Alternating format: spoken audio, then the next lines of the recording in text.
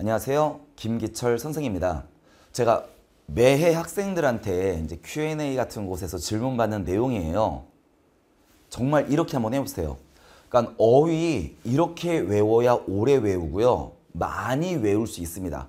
그러니까 학생들이 보통은 뭐 어휘책을 뭘 사든지 그거는 관계는 없어요. 아주 많은 학생들이요. 압니다. 단어 외워야 된다는 거 알아요. 근데 안 외운단 말이에요. 근데 제가 이제 압니다. 학생들이 안 외우는 이유가요. 첫째, 어느 정도까지 외워야 될지를 모른다. 두 번째, 읽고 까먹는다. 한 달 전에 외웠던 거, 두 달 전에 외웠던 거 중에 기억나는 게 별로 없다 보니 아 이게 시간을 투자하는 게 되게 아까운 거예요. 그 다음에 마지막 절평 영어가 된 이후로요. 학생들이요. 그러니까 딱 이런 느낌인 것 같아요. 단어를 외움에 있어서 그러니까 단어 외워야 하는 건 아는데 단어 외우는 시간을 되게 아깝다고 생각하는 거예요. 예를 들면 이제 자습 시간에 영어 단어 외우면 아 이거 수학도 해야 될 것 같고 아 국어도 해야 되고 탐구도 해야 되고 우선순위가 밀리고 밀리면 결국에 안 하잖아요. 그렇게 하지 말라는 겁니다. 제가 완전 핫팁을 하나 말씀을 드릴게요. 제가 학교 다닐 때 이렇게 공부를 했고요. 제가 정말로 우리 학교 단어 왕이었거든요. 이렇게 공부하면 단어 금방 외우고 오래 외웁니다. 자, 뭐냐면 저 그럼 말도 안 되는 얘기 안 합니다. 야, 단어 하루에 50개 외워, 100개 외워. 저 진짜 그거 너무 싫어요. 그게 현실적으로 불가능한 게요. 어, 만약에 여러분들 이제 어렸을 때, 만약에 중학교 때 막 단어 외우게 할 때 막 100개씩 외우는 곳도 있었잖아요. 한번 생각해 볼게요. 그래, 만약에 100개를 외웠다 칠게요. 한 달 있다가 그거 기억나나요? 아니요, 절대 기억 못 합니다. 단어는 하루에 30개를 넘어가지 않기를 원합니다. 진짜 30개를 넘지 않기를 원해요. 20개만 외워도 돼요. 20개에서 30개를 외우는데 자 이렇게 얘기를 해도 이제 학생들이 있어. 그래도 시간이 아까운데요.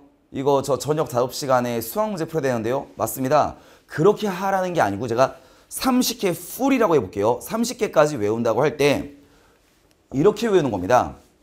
예를 들면 이제 아침에 학원에 막 이게 지금 winter school이라면 학원이겠지. 아니면 학교나 학원에 갔을 때 아침에 아침에 가자마자 10개만 외웁니다. 단어 10개 외우는데 시간 얼마 걸릴 것 같아요? 10개를 외우는데 10분 안 걸릴걸요? 10개 외우는 데는 그래서 10개를 일단은 외웁니다. 끝났습니다. 그 다음에 뭐 하는 거냐면 1교시 쉬는 시간, 2교시 쉬는 시간, 3교시 쉬는 시간 있잖아요. 10분의 쉬는 시간 중에서 딱 1분만 씁니다. 아, 9분 동안에 하던 대로 하세요. 화장실 갔다 오고 자, 그 다음에 뭐 졸리면 엎드려 있기도 하고 저거 찬성해요. 1분만 투자잖아요. 10개 외운 건 외운 거를 1분 동안에 복습을 하면요. 위에서부터 아래로 쭉 자, 뜻 그러니까 스펠링 뜻 스펠링 뜻 스펠링 뜻 쭉 내려갔다가 다시 밑에서 올라갔다가 한글 보고 영어, 한글 보고 영어, 한글 보고 영어 이걸요. 총 네 번 할 수 있습니다. 그러니까 내려갔다가 올라갔다가 다시 10개를 한글 보고 영어 생각하기 또 밑에서 올라 이거 1분이면 10개면요. 4번이 가능하단 말이에요. 그러면 단언하는데 오전에 아주 큰 노력을 들이지 않아도 10개가 거의 완벽하게 암기가 됩니다. 그럼 점심시간에 또 10개만 외웁니다. 그리고 5교시, 6교시, 7교시 쉬는 시간에 똑같이 1분 투자하세요. 그러면 오후에 10개 다 외워요. 저녁에 똑같이 하는 겁니다. 그리고 잠자기 전에 오늘 공부한 걸 복습을 하는 겁니다. 그러면 어떤 일이 발생하냐면 오늘 제가 30개까지 안 하셔도 자 20개만 해도 정말로 돼요. 20개에서 30개를 외우면 되는데 이렇게 외우면 그러니까 시간을 낭비한다는 생각도 안 들고요. 그러니까 학생들이 시간을 낭비한다는 생각 그 느낌 아시죠? 우선순위가 밀리잖아요, 계속. 근데 생각해 볼게요. 여러분들 만약에 쉬는 시간에 이제 수험생들 특히나 쉬는 시간에도 뭔가를 해야 된다는 건 알아요. 1분, 1분 동안에 할 수 있는 거 있나요? 수학 문제 혹시 1분 안에 풀 수 있어요?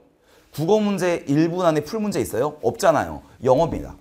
너무 시간을 효율적으로 쓸 수 있는 방법이에요. 그러면 자습 시간에는 아 길게 집중할 수 있는 과목을 공부하는 게 맞단 말이에요. 그래서 이렇게 외우기를 완전 추천하고요. 제가 정말 이렇게 10개 정도를 쪼개서 외웠고요.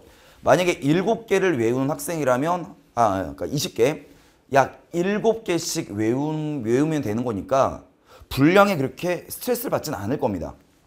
자, 그 다음에 요게 이제 또 포인트예요. 이제 학생들이 보통 어휘책을 뭘 사도 상관은 없는데요. 앞에는 새카맣고 뒤에는 하얀 이유가 이건데 자 오늘 이겁니다. 오늘 내가 30개를 외웠다가 칠게요. 그럼 화요일 날은 뭘 할까요? 어저께 공부한 거를 복습을 하고 나서 오늘 거를 공부하는 겁니다. 근데 어제 이 정도 공부했으면요. 다음날 아침에 어 30개 중에서요. 아마 27개 이상은 아 20, 그래 진짜 보수적으로 생각해도 25개는 기억날 거요. 어저께 거를 공부하고 오늘 걸 하는 건데 이제 문제가 하나 있어요. 그럼 제가 항상 물어보는 게 이겁니다. 얘들아 그럼 수요일 날에는 어떻게 공부할리? 그러면 애들이 하는 말 월요일 30개, 화요일 30개, 수요일 30개 망합니다. 그럼 만약에 3주만 지나가 볼래요? 어떤 일이 발생하죠? 앞에 거 복습하다 끝나요. 자 뭐냐 무조건 기본 공식은 어제 오늘 어제 오늘이에요. 자, 월, 화, 수, 목, 금, 토까지 무조건 어제, 오늘, 어제, 오늘까지만 외웁니다. 그리고 일요일은 새로운 걸 절대 외우지 않습니다. 일주일치를 복습하는 날이에요. 새로운 거 외우는 거 아니에요. 이렇게 외우면요. 단어가 자 30개씩 6일을 외운 거예요. 그럼 이론적으로 180개죠. 아무리 우리가 머리가 좋아도요. 천재가 아닌 까닭으로 180개를 다 기억하진 못합니다. 그래도요 150개 이상은 확실하게 기억납니다. 그럼 일주일에 150개를 우습게 보는 게 아니에요. 써볼게요. 일주일에 하루는 무조건 일주일치를 복습을 한다. 그러면 자 제가 이제 좀 이따 이것도 설명드릴 텐데 요게 이제 일주일치야. 그러면 2월을 제외하고 4, 7이 28일이지. 그럼 한 달에 2, 3일이 남는단 말이에요. 보통의 달은. 그때 뭐 하는 거예요? 또 한 달치를 복습하는 겁니다. 새로운 걸 외우지 않는 거예요. 이런 식으로 공부하면 이게 어마무지한 어휘량이 나오거든요. 자, 제가 보시면 아, 어휘책은 그러니까 학생들이 또 맨날 질문하는 게 선생님 저 어휘책 뭘로 공부하면 돼요? 정말로 시중에 이름 있는 회사에서 나온 거 다 좋습니다. 그러니까 뭐 가장 유명한 뭐 많은 학생들이 사고 있는 어휘책 뭐 워드 마 어쩌고라던가 뭐 EBS에 나오는 voca 어쩌고라던가 그러니까 뭘 사도 상관없어요. 아니면 학원에서 하는 거 그걸로 해도 상관없습니다. 전부 다 결국엔 겹치거든요. 그게. 그래서 어휘책은 뭘 해도 상관은 없는데요. 저희도 올해 어휘책 다이어를 좀 준비하고 있습니다. 자 나오면 제가 꼭 알려드릴게요. 근데 수능까지 보통 10개년 기출의 어휘 암기하면 충분한데 어, 시중에 있는 모든 어휘책이 결국에 다 기출문제를 기반으로 만든 거기 때문에 그래서 어떤 어휘책으로 공부해도 관계는 없습니다. 근데 어느 정도의 결과가 나오느냐? 하루에 30개씩 외웠으면요. 자 6일 곱하기 4주 하면 720개죠. 근데 똑같은 말 또 할게요. 우린 천재가 아닙니다. 720개를 기억할 수는 없거든요. 600개 이상은 완벽하게 기억납니다. 이런 식으로 공부하면. 그러면요 10개월만 곱해보세요. 몇 개죠? 6천 개입니다. 근데 6천 개 새로운 걸 외우는 게 아니에요. 외웠던 거 반복, 외웠던 거 반복이에요. 이 정도 공부하면요. 이게 제가 한 뭐 이론적으로 한 6천 개라고 말씀을 했지만 실제로 여러분이 외울 단어가 6천 개가 아니에요. 한 2천 개, 2,500개? 이 정도만 알아 더 외워도 10개년 기출문제에서 모르는 어휘가 안 나올 정도입니다. 지문 하나예요. 지문 하나에 모르는 어휘가 3개 이하로 나오잖아요. 그러니까 문제 하나에. 그럼 예를 들면 네 줄에 아니 다섯 줄에 모르는 단어가 하나 정도 나오는 겁니다. 문제 푸는데 전혀 지장 없습니다. 그러니까 전후 맥락이 있기 때문에 무슨 말인지 알아듣거든요. 이해가 된단 말이에요. 이 정도 공부하면 영어에서 문제를 풀 때 어휘를 몰라가서 해석이 안 되는 경우는 없다고 보시면 돼요. 되게 간단한 방법인데요. 어휘 외우는 법을 너무 모르시더라고요. 그래서 이제 결론 내드리겠습니다. 아, 나 단어는 무조건 쪼개서 외우는 거구나. 이걸 자습 시간에 외우려고 하니 시간도 너무 아깝고 집중도 잘 안 되고 내가 한 시간 전에 외웠던 거 기억가 한 시간 전에 외우는데 기억도 안 나고 그러니까 이게 반복이 되었구나. 내가 뭐 20개나 30개나 딱 정해 놓으시는데 아 내가 아침, 점심, 저녁을 쪼개서 외운다. 한 7개, 7개, 7개 아니면 10개, 10개, 10개. 자기 전에 복습한다. 그 다음에 어제 오늘 어제 오늘만 외운다. 하루는 일주일치 복습을 한다. 한 달 기준으로 월말 2, 3일은 한 달치만 복습을 한다.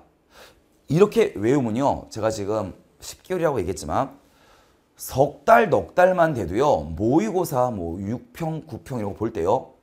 확 다릅니다.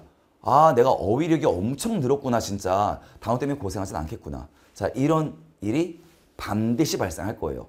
우리한테 아직 시간 많이 남았습니다. 지금부터 꾸준히 하시고, 그 다음에 어휘는요, 에이, 내일부터 해야지. 이런 마인드인 학생 중에서 저 외우는 학생 한 명도 못 봤어요. 오늘 당장 시작합니다. 어휘책이 있으면 오늘 당장 시작하는 거고요. 자, 오늘 당장에 선생님 제가 이걸 저녁에 봐서요. 10개만 외우세요. 제가 이걸 오후에 봤는데 그럼 오후, 저녁 10개, 10개, 20개만 외우세요. 이걸 보자마자 시작하는 겁니다. 내일부터 해야지 이런 마인드 학생 중에서 되는 학생 없습니다. 아, 예외는 하나 있어요. 이걸 한밤, 한밤중에 봤다면 내일 아침부터 시작하는 건 맞겠지만 보자마자 시작하시면 그게 쌓입니다. 반드시 승리하는 한 해 될 겁니다. 승리하세요.